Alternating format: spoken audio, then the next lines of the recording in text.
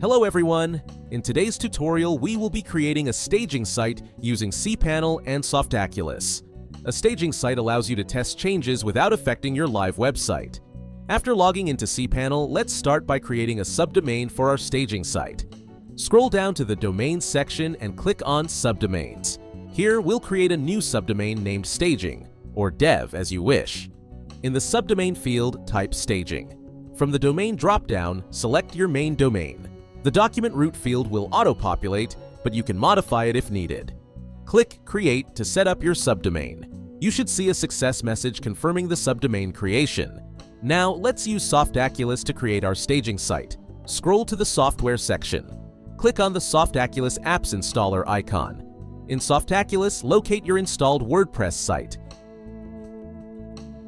Click the Staging button next to your WordPress installation. You'll now see the Create Staging page.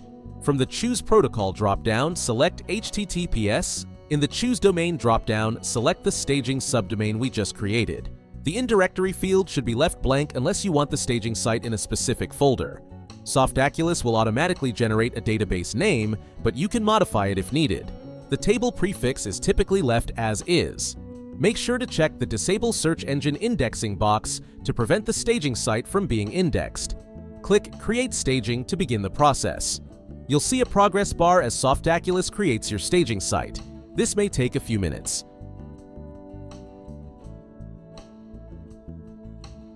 Once complete, you'll see a message with your new staging site's URL and login details. Let's log in to our new staging site using the provided credentials.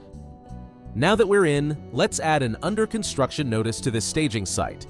Go to Plugins, Add New, and search for Under Construction. Find the Under Construction plugin by WebFactory Ltd and click Install Now, then Activate. Go to the plugin settings and enable the Under Construction mode.